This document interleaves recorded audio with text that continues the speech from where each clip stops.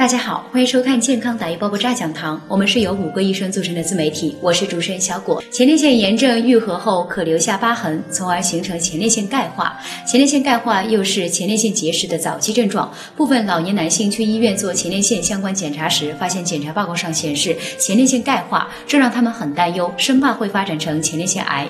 出现前列腺钙化后该怎么办呢？一、调整饮食。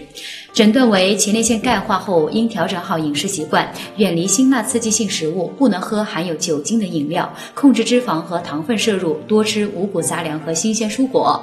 二、合理补充水分，多喝水是保护前列腺行之有效的方法，保证每天的喝水量达到两千到两千五百毫升，这样能增加排尿量。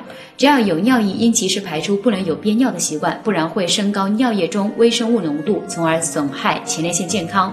三、控制夫妻生活次数，只有规律适度的夫妻生活，才能让前列腺液适度排出，防止前列腺充盈而引发炎症。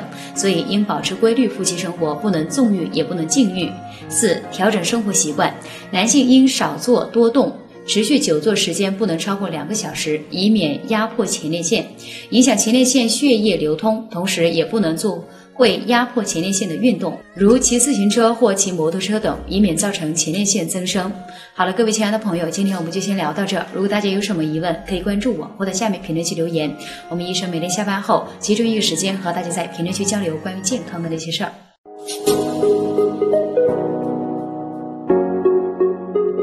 好